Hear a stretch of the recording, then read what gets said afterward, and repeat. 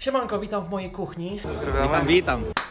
Czas zrobić synchronizację. Co prawda, dzisiaj nie z gotowania, więc może część rozczaruje. Dzisiaj porozmawiamy sobie o tym, co stało się w zeszły weekend w Warszawie w Esport Spocie, czyli finały LAN Polish F1 Series w sezonie czwartym. I tak naprawdę powiedzenie, że było fajnie, to chyba trochę za mało. Powiedzenie, że było zajebiście, to chyba też za mało. To trzeba było po prostu przeżyć. Wydarzenie, tak od razu opowiem, w którym zebraliśmy całą stawkę 20 kierowców w jedno miejsce. W większości przypadków, prawie 99 z ich własnym sprzętem, usadowienie ich na playseatach i danie im możliwości rywalizowania ze sobą bezpośrednio obok siebie. Tak jak to obserwujecie chociażby w CS-ie czy w LoLu. Zostawcie łapkę w górze, zostawcie komentarz, jeżeli macie jakiekolwiek pytania, zostawcie subskrypcję na kanale, bo to jest tutaj na YouTubie potrzebne. Przesyłam Wam pozytywny uśmiech, uśmiechnijcie się i mam nadzieję, że miło spędzicie teraz ten najbliższy czas y, właśnie słuchając tej relacji z tego naprawdę wyjątkowego wydarzenia. Moją rolą na tym było prowadzenie studia oraz komentowanie dla Was wyścigów,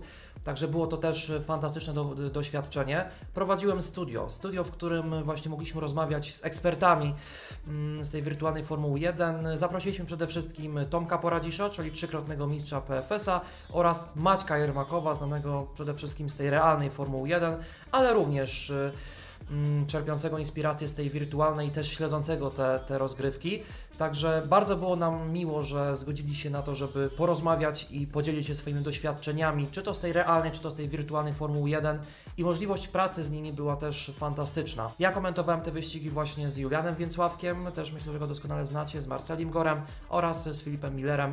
Także to było coś, coś pięknego i taka była tutaj moja rola. Ponadto e, obserwowałem te zmagania, gdzieś to śledziłem z boku, też e, nagrywałem pewne rzeczy właśnie dla Was, żeby pokazywać Wam różne przebitki, które też w tle będziecie widzieć właśnie z tego, jak to, jak to wyglądało, jak to, jak to przebiegało to wydarzenie, które trwało właściwie dwa dni. W sobotę około godziny 16 rozpoczęły się wyścigi. Były to dwa wyścigi rozgrywane najpierw we Włoszech, potem w Singapurze, a dzień później już gdzieś tak około godziny 13.30-14 rozpoczął się kolejny dzień i był to wyścig e, był to wyścig o Grand Prix Arabii Saudyjskiej oraz finały, finał rozgrywek w Chinach. Każdy z tych wyścigów w zasadzie był tak emocjonujący, że ciężko mi nawet to podsumowywać. Szczepili się!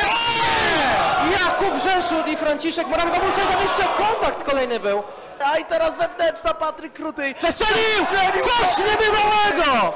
Coś niebywałego przestrzelił ten zakręt całkowicie Patryk Kruty. Zaczyna się walka dla Morawiaka o pozycję numer 4 w historycznym Grand Prix Chin w Polish Van Series. Sekunda różnicy. Ale Dwa chyba ostatnie zabraknie. zakręty. Patryk Krutych wpada na linię mety. Kruty On wygrywa ten jako wyścig na pierwszy. mecie, ale niestety przegra rywalizację ze Stachulcem przez karę.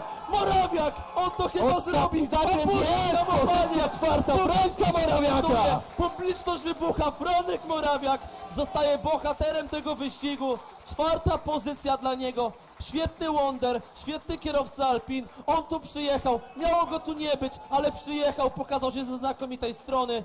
Kończy rywalizację na P4. Ucałował kamerę. Prosimy jeszcze o autograf.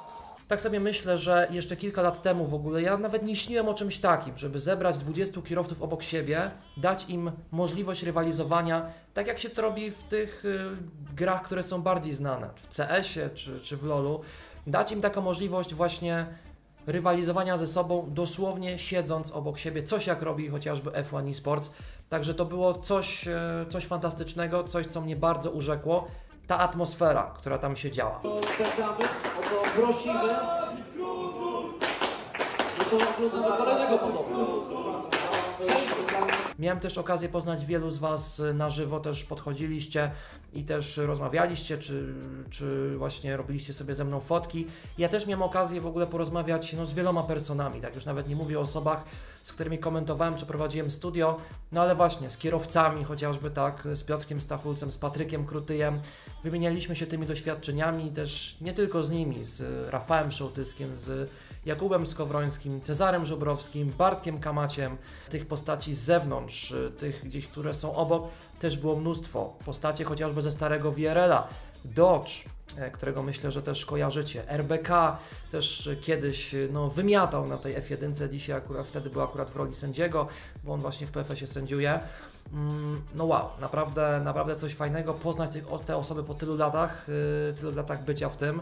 Super sprawa, bardzo się z tego powodu cieszę. Poznanie tego też od, pod kątem realizacji to również jest ciekawa sprawa, bo nie oszukujmy się, żeby coś takiego zorganizować, to za tym nie stoją tylko kierowcy, ale za tym stoi kilkadziesiąt ludzi, który, którzy muszą nad tym wszystkim panować. Ktoś musi trzymać kamerę, ktoś musi trzymać y, jakieś przewody, jakieś kable, ktoś musi to rozstawić, ktoś musi to skręcić, ktoś musi to złożyć, ktoś musi to jeszcze zarządzać tym wszystkim, ktoś musi robić zdjęcia, obrabiać te zdjęcia itd., tak itd., tak ktoś musi realizować transmisję. Tych osób było mnóstwo które się do tego przyczyniły. Także y, widzieć to to było coś, coś pięknego. Też uśmiechy na twarzach tych ludzi, którzy tam przebyli.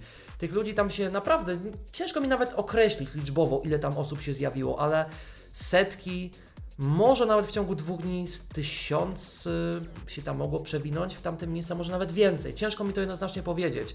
Wiem tylko, że w piku było ponad tysiąc osób na transmisji w niedzielę, także no to pokazuje, że warto to wszystko pokazywać.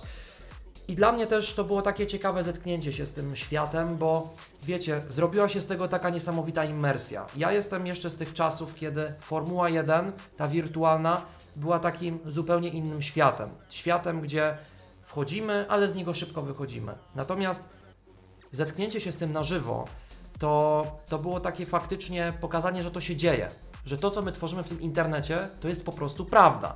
Ja jeszcze jestem z tych czasów, kiedy nikt nie kręcił na tym lodów, nikt, nikt, nikt nigdy nie robił z tego jakiegoś dużego biznesu, więc dla mnie zawsze to była taka po prostu zajawka. Natomiast teraz wiadomo, że to się troszeczkę y, pozmieniało, tak? Ale przede wszystkim usłyszenie jednego zdania, czy kilku zdań od Tomka Poradzisza i od Piotrka Stachulca, którzy dzisiaj aktualnie są na Pro Exhibition przed F1 Esports z Wielkiej Brytanii, niedaleko toru właśnie Silverstone, czy na samym torze Silverstone. Słyszę, usłyszeć od nich słowa, że Patryk, myśmy uczyli się jeździć patrząc na Akademię Jazdy Rulalosa. I kiedy słyszysz takie słowa, sobie myślisz, wow, ty dołożyłeś pewną cegiełkę do tego, że ci zawodnicy są w F1 Esports. I tak naprawdę usłyszenie tych słów było dla mnie takim jednoznacznym dowodem na to, że było warto Jestem z tego niezmiernie dumny i bardzo się z tego powodu cieszę, że też mogłem taką cegiełkę dołożyć do tego, co się aktualnie dzieje. I my jesteśmy częścią tej historii. O tym warto powiedzieć. To kiedyś się zaczynało, to kiedyś raczkowało, a dzisiaj to się tak rozwinęło, że są organizowane takie eventy. Nigdy nie byłem, słuchajcie, na fejmie czy na haju, mówię oczywiście o galach freak fightowych, e, to jest takie trochę święto YouTube'a, tak bym nawet to określił, tak? Widzieć tych influencerów, którzy, nie wiem, toczą ze sobą te różne pojedynki, ale to, co się działo na lanie, to było prawdziwe święto tej wirtualnej Formuły 1 w Polsce. Widzieć te uśmiechnięte twarze, widzieć tych widzów, widzieć też wiele person, które też rywalizują w różnych ligach, może akurat nie bezpośrednio tam, ale też zebranie ich tam, przykucie ich uwagi, to, to było coś pięknego widzieć ich uśmiechy i widzieć to przeżywanie tych, tych emocji, to skandowanie, to takie pozytywne, czasami też negatywne, ale skandowanie tego i przeżywanie tego to było coś niebywałego. Krutul się podciąga za Stachulcem, a my słyszymy fantastyczny doping, jak to zwykle tutaj już bywa we Sportspot w Warszawie przy ulicy Zajęczej 4. Miałem też okazję w jednym wyścigu nie komentować, ale wykorzystałem to na pójście na inżynierkę. Ja to akurat był wyścig o Grand Prix Chin, czyli wyścig, gdzie był, były zmienne warunki i właściwie cały dystans przejeżdżało się na interach i też obserwowanie tego, kilka monitorów, różne aplikacje. Już y, myśmy wiedzieli tam, to mu pęknie opona, komu pęknie guma, ale dokończy, że tak to nazwę, tak? To, to już było wtedy wiadomo, to rywalizowanie, to przekazywanie sobie tych informacji, obliczanie tych strategii, że musisz pojechać tak, żeby były te 0,2% mniej zużycia na kółko, no coś pięknego po prostu, widzieć to, widzieć to wszystko. Mm, tam właśnie był Sebastian Bobek i Jakub Press, którego też doskonale znacie ode mnie na kanale, bo yy, właśnie jego książkę też promowałem rok temu. Persony były Liu Klofko, Cylsix chociażby, to jest osoba, którą też może kojarzycie. Kuba Trzeciak, on rywalizował w Williamsie, też zdobył w ogóle podium, także serdecznie za to gratulacje. No ale to, tak jak mówię, no to jest akurat jeden z takich tylko przykładów yy, osób, które tam się pojawiały. Było ich dużo, dużo więcej. Operator, realizator. Najlepszy realizator z i, PlayStation. I ważący, i ważący dupy na Wrocławiu. Tak. Jeszcze na finał wtedy przyjechał bolid Roberta Kubicy z roku 2010. Też przyjechał w ciężarówce, myśmy go potem przewozili przez elektrownię po Wiśle, potem żeśmy go rozstawiali. I, I, to też było takie, takie fajne, to, fajne to zobaczyć. Ja akurat byłem już wtedy bardzo zmęczony. Jedyne o czym marzyłem to to, żeby się położyć po prostu spać. Tak mnie głowa bolała po tym pierwszym dniu.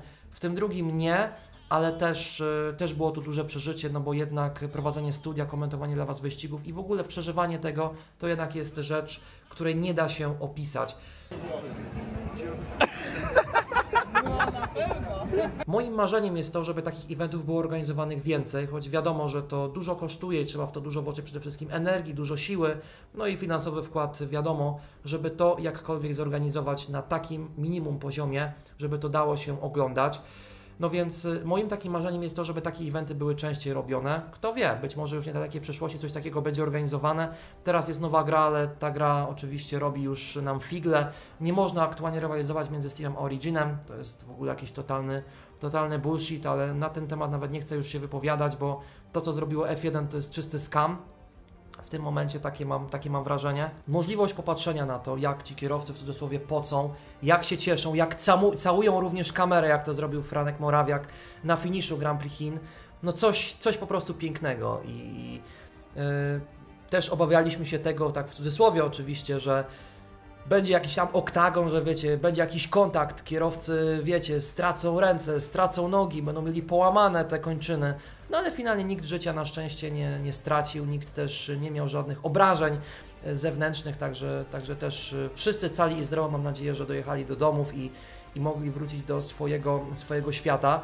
Ale naprawdę, y, no fajnie, fajnie, że to tak było i, i, i, cieszymy się z tego, że tak to mogliśmy zorganizować. I cóż mi pozostaje właściwie o tym powiedzieć. Jeżeli ktoś nie był, to zapraszamy na kolejne takie wydarzenia. Myślę, że myślę, że warto. Jeżeli się zastanawiałeś, to niepotrzebnie, bo warto było przyjść. Wstęp był darmowy, zebraliśmy tam wielu ludzi. Możliwość porozmawiania była też fantastyczna, wymienienia się tymi doświadczeniami. Miałem też okazję właśnie, właśnie rozmawiać z kilkoma kierowcami, też czy to przy śniadaniu w hotelu, też chociażby z Przemkiem Hubaczem. Mi nie pozostaje nic innego tak naprawdę jak podziękować za taką możliwość bycia, za bycia częścią tej historii, która była takim chyba idealnym zwieńczeniem tego wszystkiego i pokazaniem, że można. Idźmy krok dalej, róbmy takie projekty, bo cholera jasna to jest coś zajebistego. Naprawdę, kurde, róbmy coś takiego. Kierowcy, jak z nimi rozmawiałem już nawet w niedzielę rano, no po prostu byli uśmiechnięci, że coś takiego jest. I właściwie oni by chcieli jeszcze więcej takich eventów, bo to dla nich jest zupełnie coś innego. Ściganie się w swoim domowym ciepełku to jest totalnie inne doświadczenie niż ściganie się w zupełnie obcym środowisku, siedząc obok siebie. To jest zupełnie coś innego. Na szczęście stoły wytrzymały, chociaż było czasami z tym ciężko. Wydaje mi się, że już rusza tak, nie czeka do samego końca. Wrócony tam Stachura niestety. Spada teraz na sam koniec stawki, ależ on tutaj to fatalnie rozegrał. Ach, zimne opony. Widzieć też te dramaty, widzieć też te uśmiechy, widzieć też to szczęście, te ręce wznoszone w geście triumfu. No to wow, to było coś... Yy coś pięknego. Czy mogę to jeszcze dodać? Wydaje mi się, że nic, y, tylko to, że było po prostu zajebiście. Mam nadzieję, że gdzieś tam z tych urywków też mogliście to obserwować, y, tych kierowców, którzy aktualnie właśnie rywalizują, też tą publiczność cieszącą się. Jeżeli macie jakiekolwiek pytania do mnie a propos tego Lana, to śmiało zadawajcie je w komentarzach, postaram się odpowiedzieć. Było to idealne zwieńczenie F121 i szczerze, naprawdę szczerze i chyba najlepsze, nie no, najlepsze wydarzenie w Polsce, na którym byłem, jeśli chodzi o, o coś takiego. Najlepsze, jakie byłem w Polsce. Formuła 1, LAN, nic tylko umierać tak naprawdę. Spełnienie marzeń niewątpliwe, ale idziemy zawsze krok dalej. To było najlepsze coś, na czym byłem w życiu i nie mówię tego bez przyczyny, mówię to z czystą odpowiedzialnością. Fajnie, że również Wy mogliście w tym uczestniczyć. No i cóż, przed nami F1 oby tylko ta gra dała się prowadzić, że tak to nazwę, bo są już z nią oczywiście pierwsze problemy. U mnie takie materiały na kanale również się pojawią, prawdopodobnie też będziemy to streamować i chcę zacząć streamować na Twitchu F1, także od razu Was ostrzegam, że będzie zmiana platformy, a na YouTubie też będą jakieś inne materiały, także to od razu Wam chcę powiedzieć. Także też wszystkie linki Wam dam w najbliższym czasie.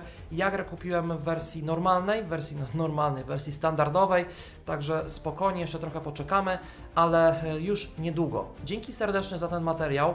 Zostawcie jeszcze raz łapkę w górze, komentarz, jeżeli macie jakieś pytania, no i suba z dzwoneczkiem na kanale. Mam nadzieję, że Wam się oczywiście też podobała cała ta realizacja, cała oprawa.